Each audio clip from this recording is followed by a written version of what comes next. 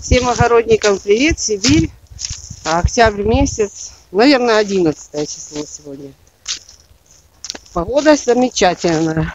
Сверху на воде небольшой уже лед у нас, но сухо, слава богу. Я пришла на свой участок. Подожгла. Где это моя куча мусора? А, не видно, наверное. Да, пытается. Куча мусора гореть. Но кроме этого я так скопала вот здесь у меня малина. Ой, что-то я боюсь, вот это костер горит.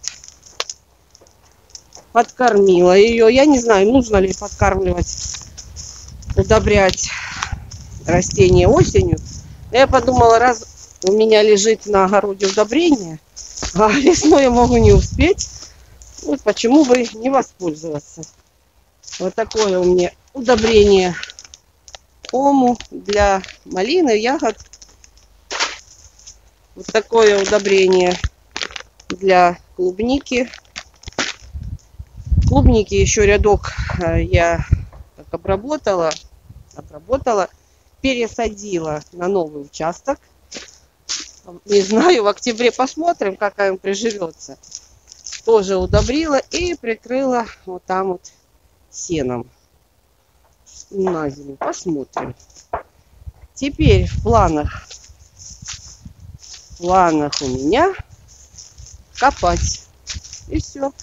Буду копать до упора, сколько хватит у меня настроения. Надеюсь, вот эту грядку я прокопаю, а дальше будет видно.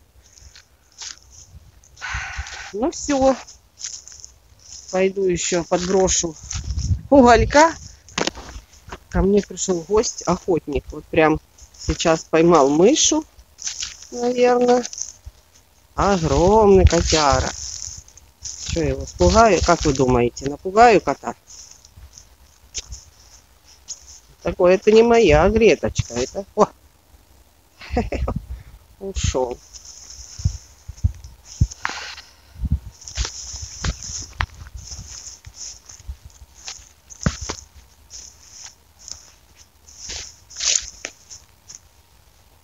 Как и не было кота. Спрятался куда-то. Я их боюсь, если честно, котов. Вон он, он пошел. Бродяга.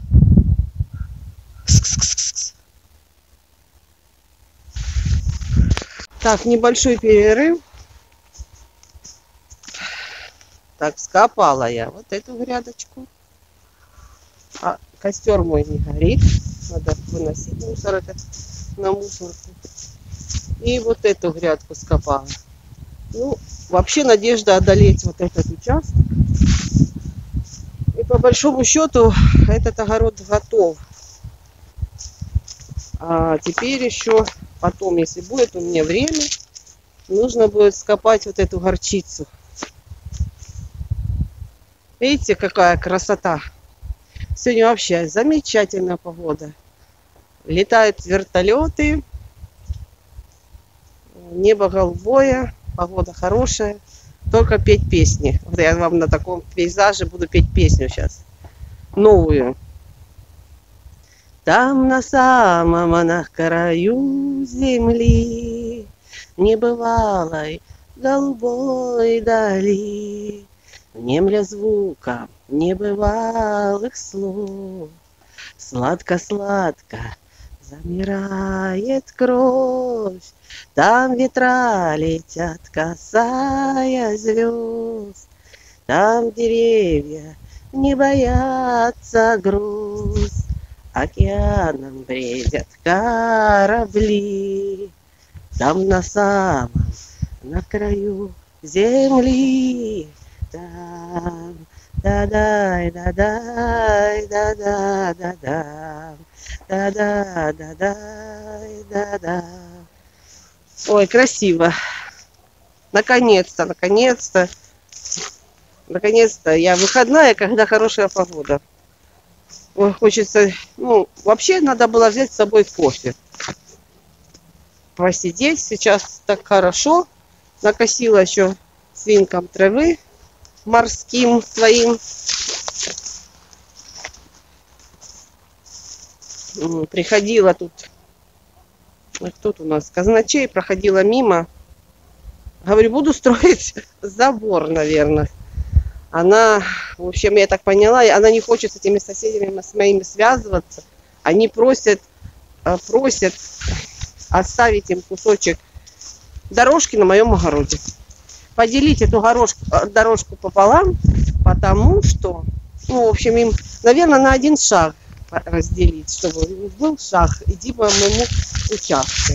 Потому что, вот понимаете, есть такие люди, а у них еще, вот там есть участок, там тоже они с соседями э, поскандалили, потому что соседи что-то тоже перекопали дорожку. Ну, наверное, соседи видят наглых людей и перекопали эту дорожку. Вот они хотят, хотят, что там, вот они, где ящики лежат, они вот через вот эти ящики выходят на мою тропинку, на вот эту, и туда идут. Хотя у каждого огорода предусмотрен выход, чтобы был на общую дорожку. Зачем, я им, зачем они будут ходить через мой огород? Я не хочу на них смотреть. Она говорит, он померил, и оказалось, что у него меньше участок, чем у меня. Поэтому надо дорожку поменять. По... Я говорю, как он меньше? Вот я посчитала, у него 14 шагов расстояние участка. И у меня, если, если, ну то есть вот, где, где я показываю. Ну, короче, вот это общая дорожка уже, на которую выходить. И я хочу забор строить.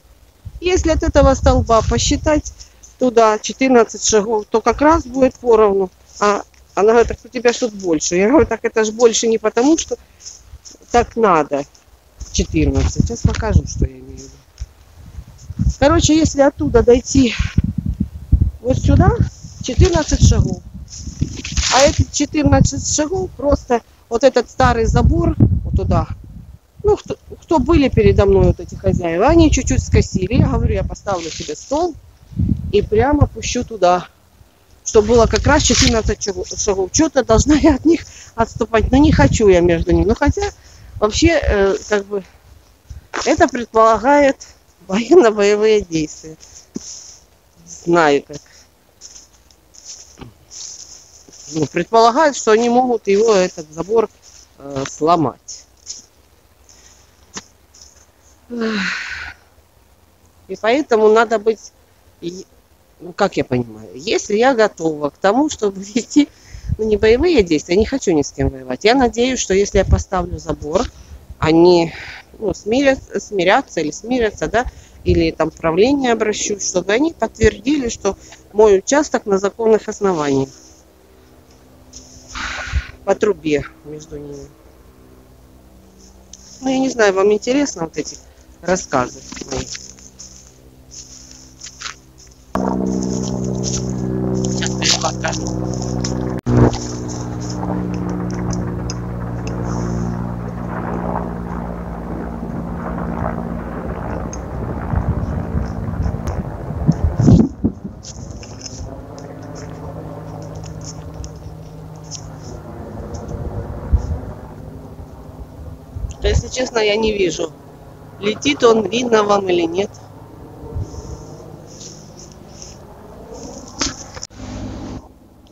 Завтра на работу отнесла свои георгины. Заведующая сказала, что в себе погреб положить на сохранение. Сказала, что ей никак это не напряжет, но мне не нравится, что мне нужно ну, быть обязанной просить. Я, наверное, завяжу с георгинами, потому что ну, нету мне подвала и носиться с ними. Это лучше, как это, сеять такие цветочки. Однолетние, наверное. Ну, или многолетние, которые не нужно выкапывать. Что еще хочу сказать? Хочу сказать, что не знаю, может я еще в каком-нибудь видео это добавлю что мне на новом рабочем месте новый контингент покупателей появился. И мне надо как-то с этим смириться. Дело в том, что Дело в том, что я за 7 лет не видела ни разу, за 7 лет не видела столько пьяных и с похмелья людей, сколько за один выходной день воскресенья, ну, работы на этом микрорайоне.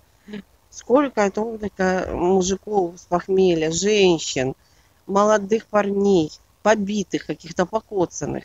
Мне кажется, я прихожу домой и говорю, мне кажется, я 7 лет прожила в какой-то другой стране. Вот насколько большая разница даже между районами города и населением, живущим там. Мне казалось, что я живу в каком-то высокообразованном обществе. А между прочим, у нас там на районе очень многие э, вот, в Академгородке работают, которые ученые, преподаватели, врачи, ну и разные другие разные люди. Но как-то много приезжих, а здесь местные. Местные, вот, которые сто лет живут, или те, кто остались на вот этих районах, или не знаю. И вот мне нужно брать себя в руки и быть нелицеприятной, как это говорится. То есть все люди равны. всем надо помогать. Ко всем надо искать подход. В общем, буду настраиваться. Вот. Ладно, пойду еще копать и поеду домой. В планах дома пока ничего не буду рассказывать, что я буду делать. Главное, чтобы потом приехать и не уснуть быстро. Хотя вы говорите, отдыхай, Наташа, отдыхай. Да, я и так вчера провалялась полдня отдыхала. Вот, оцените еще объем работы. Вот я скосила эту траву. Может быть, будет время, я приду ее здесь перекопаю, может и не буду. И завязалась вот здесь почистить вот эти кусты вишен. Вот это начистила. Ну, как-то надо приводить порядок. Вот этот еще хрен. Так. Ну и вот кусочек, то, что запланировала, сделала.